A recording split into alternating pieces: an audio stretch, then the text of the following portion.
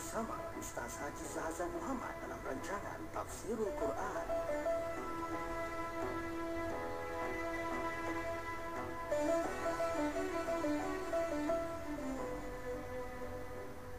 السلام عليكم ورحمة الله وبركاته. إن الحمد لله نحمده ونستعينه ونستغفره ونعوذ بالله من شرور أنفسنا ومن سيئات أعمالنا. من يهده الله فلا مضل له ومن يضلل فلا هادي له. وأشهد أن لا إله إلا الله وحده لا شريك له وأشهد أن محمدا عبده ورسوله.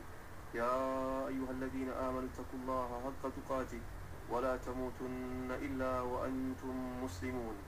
يا أيها الناس اتقوا ربكم الذي خلقكم من نفس واحدة وخلق منها زوجها وبث منهما رجالا كثيرا ونساء واتقوا الله الذي تساءلون به والأرحام. إن الله كان عليكم رقيبا. يا أيها الذين آمنوا اتقوا الله وقولوا قولا سديدا. يصلح لكم أعمالكم ويغفر لكم ذنوبكم. ومن يطع الله ورسوله فقد فاز فوزا عظيما. أما بعد فإن أصدق الحديث كتاب الله وخير الهدي هدي محمد صلى الله عليه وسلم وشر الأمور محدثاتها. وكل محدثة بدعة وكل بدعة ضلالة وكل ضلالة في النار.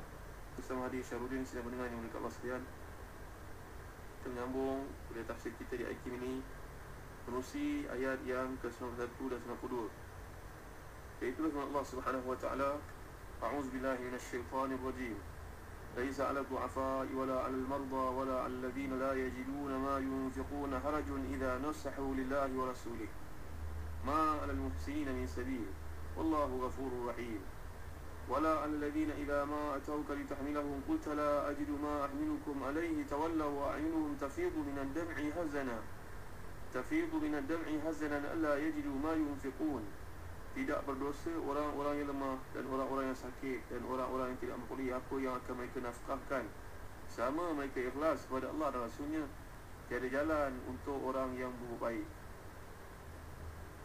dan Allah SWT maha pengampun lagi maha penyayang dan tiada juga atas orang-orang yang apabila mereka datang kepadamu supaya engkau memberi mereka kenderaan engkau berkata aku tidak mendapatkan kenderaan untuk membawa kamu Lalu mereka kembali dalam keadaan mata mereka bercucuran air mata kerana kesedihan disebabkan mereka tidak mendapat apa yang akan mereka nafkahkan. Jadi saya mendengar yang beritahu sekalian ada beberapa golongan yang digunakan diberi keuzuran. Itu orang lemah, ini termasuk orang tua dan kanak-kanak. Kemudian orang yang cacat, orang buta umpamanya, orang tempang, orang yang sakit stroke, contohnya. Kedua adalah orang sakit. Ni orang sakit, orang sakit stroke dan sebagainya Maka keuzuran itu Sampailah mereka ni sembuh Kalau boleh sembuh. Yang ketiga, orang-orang fakir Yang tidak memiliki apa-apa untuk dibelanjakan. Mereka ni tak ada kenderaan Tak ada duit Untuk membiayai diri sendiri dan sebagainya. Pada zaman Nabi dahulu Kerap kali orang-orang yang kaya Setelah mereka ni mengeluarkan belanja untuk diri mereka sendiri Mereka menaja pula habat yang miskin. Kalau mereka ditaja maka waktu itu tanggungjawab berperang adalah menjadi wajib ke atas mereka. Kemudian bila keadaan umat Islam menjadi lebih baik maka Baitul Mal lah yang menguruskan perbelanjaan untuk mujahidin ini. Jadi mereka ketiga jenis manusia ini tidaklah dianggap bersalah.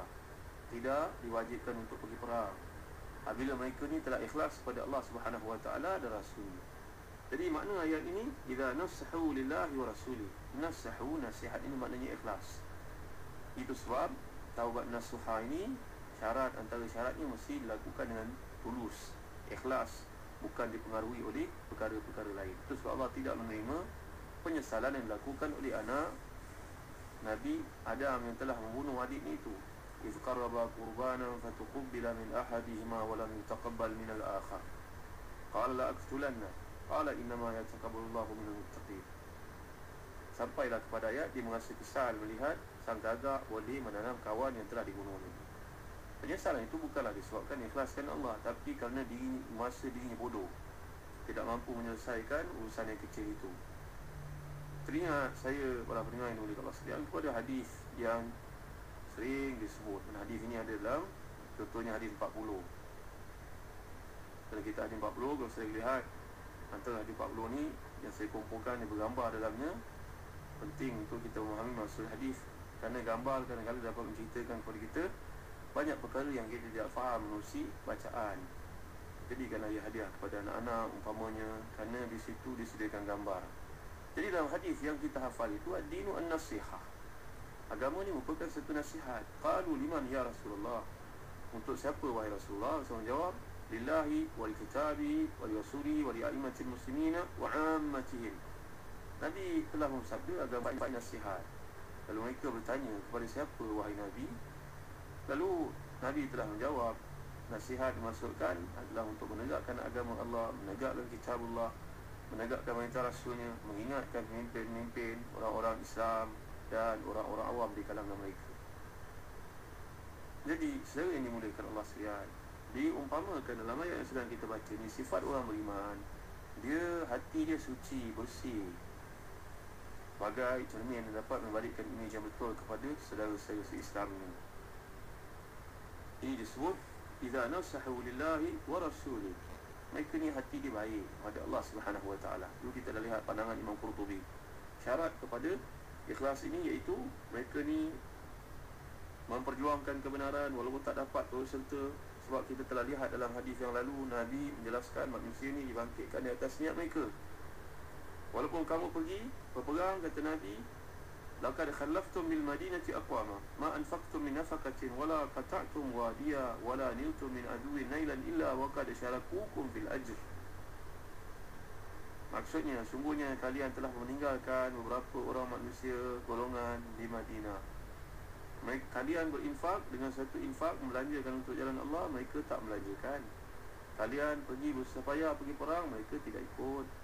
Mereka ni tak dapat ikut kerana halangan, kemiskinan, sakit ataupun kedaifan yang dibenarkan itu bagi mereka pahala sama macam kalian. Jadi, para pendengar yang mereka sekalian, hati mereka bersih, hati melayani di sisi Allah Subhanahu Wa Taala. Baik. Jadi, dalam ayat yang sedang kita bincangkan ini, nasahu lillahi wa rasuli bahawa mereka ni mereka memiliki keuzuran yang benar-benar menghalang mereka daripada pergi tapi hati ni jauh lubuk hati nak sangat ikut cuma tidak dapat menyertai kerana halangan itu. Bagi orang munafikun pula mereka mengadakan alasan. Tapi alasan semua merupakan pembohongan. Kata Al-Imam Al-Khazin Al-Tafsirnya makna kata ini nasahu lillahi wa rasuli. Makna kata yang dikehendaki oleh Allah Taala di sini adalah tempat kediaman mereka. Ini golongan munafiqun yang tidak menepati syarat nasahu lillahi wa rasul. Dia tidak dia ini menyebarkan berita fitnah. Berlainan daripada orang beriman kata Imam Al-Qazin, mereka ni dah tak dapat pergi perang tapi duduk menceritakan kebaikan Rasulullah, duduk menceritakan kebaikan tentera Islam. Tanam dalam diri anak-anak mereka, abah tak dapat ikut kerana abah sakit, esok kau jagalah kesihatan supaya kau dapat pergi perang dapat menjadi orang yang mulia mujahidun tertinggi kedudukannya di sisi Allah SWT dan Rasulnya ha, ini dia peranan yang dimaksudkan nasahu lillahi wa rasuli sini ni dan hati dikasih Allah sekalian lihat ayat yang digunakan lagi di sini oleh Allah Subhanahu wa taala tawalla wa aynuhum tafidu min ad-dam tafidu ni kalau kita belajar bahasa Arab perkataan fadha yafid tafid maknanya melimpah maknanya Kelopak mata tak dapat nak menampung air menyebabkan ia mengalir, bercucuran, jatuh. Tak dapat dikawal. Ini menunjukkan keikhlasan. Saya ini nanti dan dikasih Allah sekalian. Maknanya satu benda yang melimpah disebabkan wadahnya sudah penuh kalau kita memahami dia sudut falsafahnya. Jadi mana hati itu berbuku nak ikut bersungguh-sungguh nak terlibat tapi nampaknya tidak mampu. Ngalir air mata menampakkan kesungguhan itu. Ini beberapa orang sahabat yang dipanggil sebagai Al-Baka'un Mereka yang tujuh orang Kalimah Al-Bagawi menjelaskan dalam kitab tafsirnya ada beberapa nama Sebelum ini kita telah uraikan salah seorang yang termasuk dalam ayat ini Iaitu Amr bin Ajamuh radhiyallahu anhu. Lagi ada yang mengatakan Al-Baka'un ni antaranya Ma'akal bin Yasar Sakhar bin Khalsa Abdullah bin Ka'ab al-Ansari Ulbah bin Zaid al-Ansari Salim bin Umair Fa'laba bin Ghanama Abdullah bin Mughaffal al-Muzani. Mereka ni datang bertemu dengan Nabi Muhammad SAW dengan ikhlasnya minta bantuan untuk membolehkan mereka turun kita tapi nampaknya yang ada di sisi Nabi tidak memungkinkan mereka menurut bersama-sama kemudian datang ayat 93 innama sabilu ala alladhina yasta'dhinunaka wa hum aghniya. Radu bi an yakunu ma'al khawalif wa taba'a Allahu ala qulubihim fahum la ya'lamun. Sungguhnya jalan yang dibenarkan untuk tidak pergi berjihad itu terhadap orang yang minta izin. Jalan hanyalah terhadap orang yang minta izin kepadamu padahal mereka itu mampu mereka rela bersama dengan wanita-wanita yang tidak ikut perang dan Allah telah mengunci hati mereka. Maka mereka tidak mengetahui. So ini rahmati dan dikasih Allah sekalian. Ayat ini ayat 93 ni ada perbezaan dengan ayat yang ke-87 yang lalu. Ingat tak ayat 87 yang lalu? Radu bi ayakunu ma'al khawalif wa taba Allah wa tubi ala fahum la yafqahun. Ada beza ni antara yafqahun dengan ya'lamun ayat yang lalu telah menegaskan bahawa tidak ada jalan untuk mencela. Tidak ada peluang untuk mencela orang-orang yang benar-benar ada keuzuran.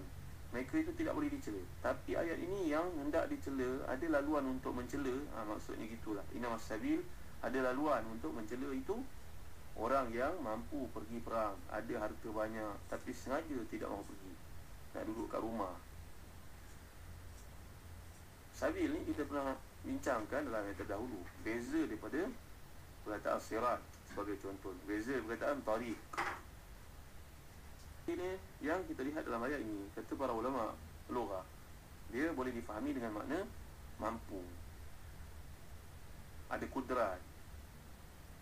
Jadi orang seperti ini yang sewajarnya dicela.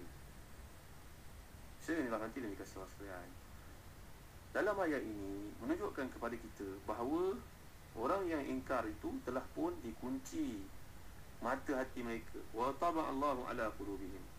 Wa taba Allahu ala qulubihim. Ini saya yang rahmati dan dikasih Allah sekalian. Sedangkan dalam ayat yang ke-87 yang lalu yang kita telah kaji, radu bi ayakunu ma'al khawalif wa tubi ala qulubihim. Tapi dalam ayat ini wa taba Allahu ala qulubihim. Nampak tak beza? Yang sana pasif, yang ni aktif. Yang sana mabni lil majhul, yang sini mabni lil ma'lum. Saya inilah nanti dan dikasih sekalian. Wa tudi ala qulubihim di sini wa taba Allahu ala qulubihim. Nampak macam sama kan? Tapi sebenarnya berbeza. Dalam ayat yang lalu 87 Allah tidak menyatakan siapa yang mengutuk mengunci pintu hati wa tudi ala qulubihim. Jadi agaknya lah ini untuk mengisyaratkan bahawa penguncian kali ini lebih kukuh daripada penguncian yang lalu. Kalau dulu wa tubi ala qulubihim yani wa taba Allahu ala qulubihim. Jadi murka Allah SWT di situ sudah jelas. Mana Allah yang mengunci. Kalau ayat lalu kita ragu-ragu Kenapa terkunci sendiri ke? Allah yang mengunci. Allah yang menutup ke atau tertutup sendiri? Di sini Allah confirmkan. Yang menutup adalah Allah Subhanahu Wa Taala. Mungkin juga dari satu sudut yang lain Kata Muhammad Mutawali Asy'arawi Wa ala qulubihim dengan wataba Allah ala qulubihim qulubihim yang pertama mabni dan majhul kalau kita belajar bahasa Arab. Sudah peluang saya bacalah buku-buku untuk mempelajari bahasa Arab. Umpamanya matan al-ajurumiyah. Matan al-ajurumiyah ni Biasa diajar pondok-pondok. Orang mempelajari matan al-ajurumiyah ni Mudah untuk menguasai bahasa Arab. Begitu juga matan al-bina. Matan al-bina. Ini matan al-ajurumiyah Dengan matan al-bina. Wahai para pendengar ini mulia Allah sekalian Dulu Para ilmuwan Islam menghafal ni Yang seorang menghafal tu Memahami Dan akhirnya menjadi Jahabilatul Lughah. Orang yang faham betul dalam masalah bahasa Arab. Tak kuasai bahasa Arab kalau kita tidak membaca matan al-ajurumiyah dan matan al-bina Alhamdulillah telah pun ditahqiqkan oleh Ustaz Wan Muhammad Nasir Hafizahullah. Ada peluang baca bahasa saya? Bimbinglah anak-anak untuk membaca minta kepada guru-guru kita untuk dibacakan kepada kita supaya kita faham apa itu nahu apa itu saraf jadi dalam ayat ini kalau kita perhatikan ada perbezaan yang pertama tubi ala qulubi. Yang kedua taba Allahu ala qulubi. Yang pertama fahum la yafqahun di sini fahum la ya'lamun. Dalam bahasa Arab al-fiqh dikatakan oleh al-Asfahani huwa tawassulu ila ilmin ghaibin bi ilmin syahid. Fahuwa akhassu min al-ilmi. Fiqh, fiqh ni satu level lebih tinggi daripada alim. Sebab kalau kita sebut faqih, faqih ni makna orang yang mendalami, memahami benda dari sudut istinbat hukumnya. Tapi kalau orang alim dia setakat tahu Orang yang alim tidak semestinya faqih. Tapi orang yang faqih itu insya-Allah dia orang yang alim. Ini beza di antara fiqih dengan alim. Jadi Allah gunakan dalam ayat ini wa tubi ala qulubihim dalam ayat lalu. Dan dalam ayat ini wa taba Allah ala qulubihim dalam ayat ini wa taba Allah ala qulubihim fahum la ya'lamun. Yang lalu fahum la yafqahun apa ini insyaallah kita akan tinjau maksud ini kehendaki oleh Allah di sini menusi kuliah akan datang. Allah alam. Wa sallallahu ala sayyidina Muhammad alihi wa sahbihi wa baraka wa sallam. Alhamdulillahi rabbil alamin. Wa barakallahu fikum. Wassalamu alaikum warahmatullahi wabarakatuh